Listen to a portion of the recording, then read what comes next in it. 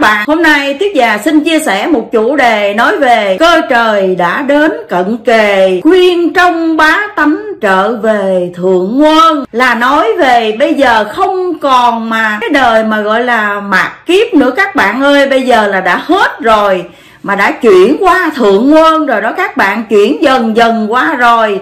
Cho nên tại sao mà à, có những cái câu mà cơ trời đã đến cận kề rồi à, khuyên trong bá tánh trở về thượng quân. Là thượng quân tới rồi chứ không có còn mà chờ đợi thượng quân nữa.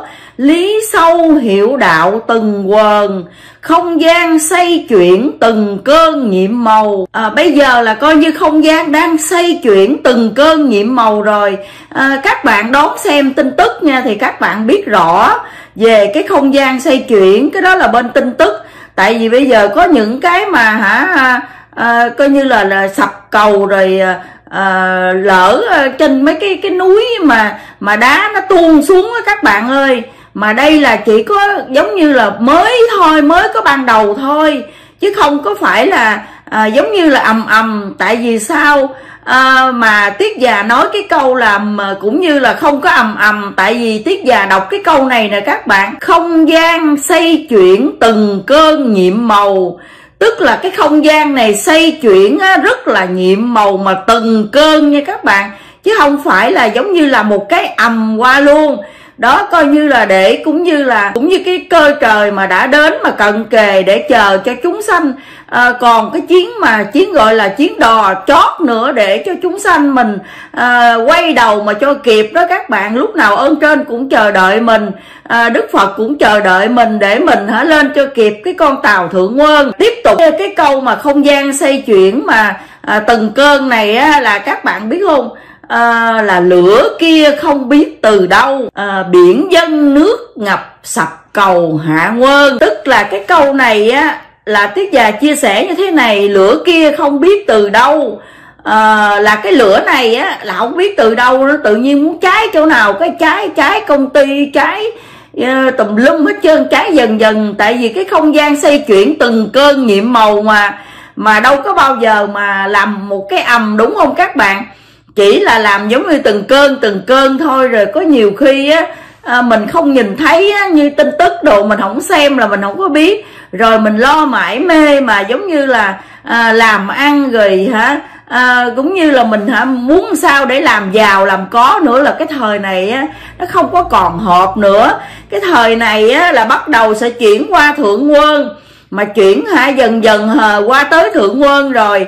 Thì á, tất cả những à, à, biển dân mà nước ngập mà sập cầu hạ quân những cái gì á của hạ quân là không còn nữa tức là biển dân nước ngập sập cầu hạ quân. Hạ quân là sập như thế nào? Ví dụ như những người nào trong cái thời mà kiếp này mà vẫn còn giống như là xây phố xây lầu à, tham vọng nè rồi ham làm giàu nè là sập cái cầu hạ quân tức là cái con đường hạ quân không còn nữa, không còn hạ quân nữa. Những cái gì mà của cái con đường hạ quân đó là không còn nữa, cho nên mới nói là biển dân nước ngập sập cầu hạ quân. Đã đến lúc thánh nhân truyền đạo khuyên những ai chưa thạo chữ tu.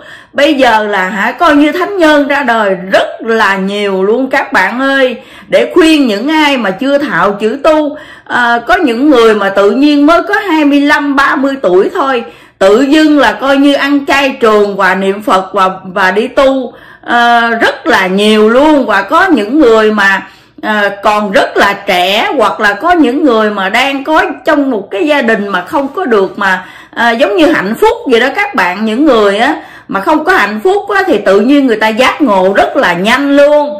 Còn những người mà à, mà đang hạnh phúc á, thì cái cặp vợ chồng đang hạnh phúc á, thì cũng như hai vợ chồng mà cùng nhau để à, à, tu tập luôn các bạn. Cái thời này á, là ai cũng à, nhanh chóng mà phải lo cái à, giống như là cái bản thân của mình chứ để nửa sau rồi à, cái thời gian này nó rất là mỏng manh luôn. Rồi ngồi đó mà khóc là không có còn kịp nữa cho nên tuyết già chia sẻ để các bạn giống như là phải buông bỏ hết đi à, các bạn mà bây giờ mà hả bà còn mà giống như ừ à, để dành tiền á mà để hả coi như là mua đất xây nhà xây cửa xây phố xây lầu là coi như không còn hợp nữa. À, các bạn thấy rõ ràng không? Điểm thứ nhất á, là coi như là thiên tai lũ lụt tới nơi. Điểm thứ hai là không gian xây chuyển từng cơn nhiệm màu. Rồi điểm thứ ba nữa đó là coi như là hả nếu mà mình tham vọng quá cha, cao á thì mình xài hết cái phước hết cái gói phước báo của mình mình xài hết cái gói phước báo của mình á, thì nghiệp chướng nó tới, nó rước mình đi, rồi mình cũng bỏ lại bỏ lại nhà cao cửa rộng bỏ hết tất cả coi như là thân cát bụi trở về cát bụi. Mà ra đi rất là đau khổ rất là đau thương. À, không có kịp tu không có kịp mà hiểu đạo. Rồi à, không kịp mà chuẩn bị cho cái ngày ra đi. Không có cái con đường mà à, Phật pháp không có được mà à, ơn trên che chở không có Đức Phật rước mình. Thì coi như những cái chân linh đó hả? Khi mà ra đi rồi rất là đau khổ hối hận vô cùng luôn các bạn ơi. Cơ trời hả chuyển là mình không có nhìn thấy đâu chỉ có những người mà giác ngộ á thì người ta mới nhìn thấy rất là rõ nó rõ như ban ngày luôn. Tại vì sao? Có những khi mà những cái cơn mà à, xây chuyển như vậy đó là những cái lần như vậy là tin tức người ta đưa lên liền luôn các bạn. Người ta đưa lên liền coi như những cái vùng mà toàn là những ở mà à, mé sông mé biển ha tất cả những cái chỗ mà núi non là nó dần dần dần dần nó hạ xuống như vậy. Các bạn biết sao không? Nó hạ hết tất cả những cái sập những cái cù lao núi non thì bắt đầu nước nó mới tràn. Tức là biển mới dâng nước ngập rồi mới sập cầu hạ quân nó dần dần mới bắt đầu vào vô cái thành phố là vào vô những cái đô thị đó rồi có nhiều khi á à, các bạn lo các bạn nói rủi nhà gần mấy sông mấy biển có làm sao không? À, kính thưa các bạn các bạn yên tâm đi. Khi mà mình đã tu tập rồi thì à, đã đến lúc thánh nhân truyền đạo khuyên những ai chưa thạo chữ tu. Đây là chỉ có thánh nhân ra đời chỉ khuyên những ai chưa thạo chữ tu thôi. Còn những người mà đã thạo chữ tu rồi thì không có còn mà phải lo lắng nữa dù ra đi hay dù ở đi nữa cũng cứu rỗi được cái linh hồn của mình. Đó cái linh hồn của mình rất là quý báu luôn các bạn ơi. Tại vì kỳ này là kỳ tiêu xác tiêu hồn. Mà tiêu xác tiêu hồn là có khi mình hả à, không có được mà giống như là hả tái sanh lại làm người nữa rồi mình hả quá đẳng quá sanh rồi là hàng ngàn hàng tỷ tỷ kiếp mình mới trở lại. Làm người rất là đau đớn rất là đau khổ luôn mình hả không biết tu rồi mình hả nghiệp chướng nó đi theo nó dắt mình là mình thành thành những quỷ đói ma đói nó rất là đau khổ các bạn ơi. Đó lúc đó là hả mình hả à, muốn mà giống như là à, học đạo không ai khai mở cho mình học được hết. Tại vì mình có cái xác phàm này á thì mình giác ngộ rất là nhanh. Còn khi cái chân linh đó mà khi mà đã mê muội rồi vì sống trên trần gian quá ham vật chất quá ham tiền của rồi hả không có hiểu về cái lý sâu à, của đạo à, cũng như là cái lý từng quần đó. Hiểu đạo từng quần đó. Lý sâu hiểu đạo từng quần đó không hiểu là cái cái vòng trời đất xây chuyển mà coi như là hả những cái nhiệm màu những sự mà linh thiêng mà đã thánh nhân đã truyền uh, cho tất cả những uh, uh, nhân loại mà khuyên hả tất cả những nhân loại hả. Chúng uh, chúng ta hãy buông bỏ đi ăn chay và niệm phật rồi làm lành đi, bớt ờ, ăn những cái thịt động vật đi. Càng ăn thịt động vật, chừng nào là càng hả, coi như là khổ đau đó các bạn ơi. Đó, tiết già nói thật luôn. Tại vì sao tiết già dám nói mạnh cái câu này luôn? Tại vì tiết già họ lúc trước ăn thịt đó, nó bị khối u, nó nổi tùm lum hết trơn, rồi đi mổ xẻ, rồi đi lấy khối u ra mà may mắn đó các bạn ơi. Rồi bệnh tật đủ thứ hết. Nào là đau bao tử rồi nào hả? À, giống như là hả à, huyết áp rồi nó nó nó hạ huyết áp nó chóng mặt nó xây nó, nó đủ thứ kiểu hết đủ thứ bệnh tật hết trơn luôn. Mà hả giống như nhân gian gọi đó là bệnh tật nhưng mà về giống như là đạo pháp thâm sâu á rất nhiệm màu thì đây là coi như là nhân quả cái luật nhân quả mà để mình trả chứ không có phải là bệnh tật gì hết. Nếu như bệnh tật thì những người mà người ta giải nghiệp hết người ta đã thoát nghiệp hết rồi thì người ta phải hả giảm bệnh, đúng không các bạn? Đó là tiết già học biết nhiêu thì chia sẻ nhiêu. Bây giờ là coi như là chuyển qua thượng quân luôn rồi đó các bạn ơi. Chứ không có còn một cái thời hạ quân nữa. Tự vì hạ quân mà đang coi như là đang duyệt, đang dẹp hết tất cả hạ quân, thì làm gì còn hạ quân nữa? Đó, thì bây giờ phải chuyển qua thượng quân thôi nhưng mà chưa có chuyển hẳn qua thượng quân nên các bạn chưa không có thấy. Như những người mà ta giác ngộ là người ta đã thấy rồi. Có những người mà người ta giác ngộ hả? Là người ta coi như là ăn chay mà ngồi mà giống như uh, niệm phật mà hằng ngày hằng đêm đi đứng nằm ngồi để chờ giống như là cái cơ trời mà đã đến hả? À, tới nơi tới lúc rồi ha cái đời thượng cổ sống rất là thanh bình luôn.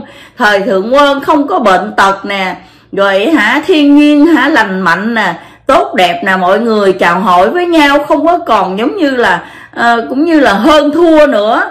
Rồi à, lúc đó là tất cả những cái ngôn ngữ á, là sẽ đổi lại giống như là sư huynh sư tỷ hiền tỷ rồi đệ rồi hả tất cả những cái gì giống như nhà nho vậy các bạn ơi. À, dạ thưa kính cẩn thầy rồi à, đồ đệ rồi môn đệ rồi tất cả những nhà nho sẽ ra đời nha các bạn nhà nho sẽ ra đời là coi như chữ quốc ngữ của chúng ta là coi như là hả sẽ đứng hàng đầu trở lại đó các bạn. Đó là những lời mà tiên tri mà tiết già đã học đã à, đã biết à, cũng như là để chia sẻ với các bạn rằng bởi tiết già định học tiếng tây tiếng mỹ gì mà thôi nghỉ nghỉ học luôn. Bây giờ thời gian để học đạo rồi để th có thời gian ra để tu chứ giờ nữa sao học tiếng tây tiếng mỹ không biết nói cho ai nghe nữa tại vì hả sau này là chữ quốc ngữ của mình là coi như đứng số 1 luôn đó các bạn. Đó rồi hả những cái mà à, gia đình mà đạo đức những cái à, à, cuộc sống của hả tất cả những cái thời thượng quân rồi hả rất là vui tươi luôn đó các bạn ơi. Sắp cận kề rồi sát bên rồi chứ không có còn đâu xa nữa hết. Ờ, Tiết già chia sẻ để à, à, khuyên những ai chưa thạo chữ tu rồi ai mà cũng như đã thạo chữ tu rồi á thì tinh tấn thêm nữa để cùng với tiết già mà hưởng cái à, thời thượng quân mà coi như là à, bấy lâu nay mà tất cả ông bà xưa mình chờ đợi lâu lắm á các bạn. À, mình hả coi như là phước đức lắm mới sanh trong cái thời mà hạ quân cuối à, để mới nhìn thấy rõ cái ờ, thiên lý ờ, của vũ trụ của hả ờ, đấng tạo hóa coi như là hả hiểu được cái cái cái sự mà giống như là tuần hoàn của vũ trụ. Thì mình hả rất là hay luôn. Các bạn nhờ như vậy mình mới ngộ đạo sớm. Chứ nếu như mà bình yên quá không có những cái gì xảy ra thì chắc có lẽ hả mình hả à, cũng như là không có ngộ đạo và không có giác ngộ. Mình lo mãi mê trần mình lo đắm mê mình lo ham vật chất mình ham xa qua rồi mình quên tất cả, mình quên cội, quên nguồn hết. Đó, cho nên hả, mình hả có có phước lắm mới sanh trong cái thời mà hạ quân cuối đó các bạn. Từ vì hạ quân cuối mới chuyển qua thượng quân thôi. Chứ hả, cái thời hạ quân mà mà hả coi như không bao giờ mà hả chuyển kịp qua thượng quân đâu. Một cái thời hạ quân là nó rất là lâu, hàng trăm năm luôn các bạn ơi đó rồi bây giờ coi như mỏng manh rất rất là mỏng manh luôn. Chỉ có hả? À, giống như là bây giờ là còn có mà bao nhiêu chục tháng nữa thôi. Mà hả các cụ các ông là đợi hàng trăm năm hàng bao nhiêu trăm năm rồi. Những tiên tri đã chờ đợi quá lâu rồi thì bây giờ đã đến lúc mà cận kề rồi. Đó, tuyết già chia sẻ. À, có người đợi các bạn biết sao không? Đợi qua cái thời thượng cổ mà đợi rất là lâu luôn á các bạn đó mà chưa tới mà bây giờ đã tới rồi là mình rất là có phước. À, tiết già chia sẻ để các bạn nhanh chóng mà coi như là hả à, tu tập để hả trọn đạo à, để được hả qua cái thời thượng quân mà để sống với cuộc đời rất là hạnh phúc luôn. Đó tự vì không gian mà xây chuyển từng cơn nhiệm màu này á là không có ai mà nhìn thấy đâu các bạn ơi. Khi nào các bạn hả à, tu tập cao siêu lên thì các bạn hả nhìn thấy à, giống như có thể nhìn thấy từ từ các bạn. Nhìn thấy à, mùa cũng như là dần dần nhìn thấy gì đó. Chứ không có thể nào nhìn thấy một lúc được. Đó là tiết già chia sẻ hả? Thật sự à, để cho các bạn hiểu ra cái lý từng quần của vũ trụ và à, trái đất như thế nào. À, để các bạn hả cũng như là bắt theo kịp để hả các bạn hả à, buông bỏ mà sống cái cuộc đời nó tốt đẹp hơn đó, để nhiều khi mình không biết như ngày xưa tiết già cũng đâu có biết đâu các bạn. Cứ lo mãi mê công việc mà làm cực khổ muốn chết luôn. Rồi người ta nói là của tàu mà đi đổ âm ti rồi công thì giả tràng. Đó các bạn thấy không? Làm cả đời người luôn tới đến hả lúc mà 60 tuổi rồi có được cái gì đâu không có cái hột xoàn nào mà để hả ờ, chớp chớp với người ta luôn đó các bạn. Thấy không? Đó mà làm quá chừng luôn cho nên bây giờ tiết già không có khờ khạo nữa đâu không có làm nữa. Làm hả? Vừa đủ là tiết già ngừng lại liền để hả? Giống như là cái thời gian để học đạo để cho cái sự mà à, giống như quý báu còn hơn là mình hả?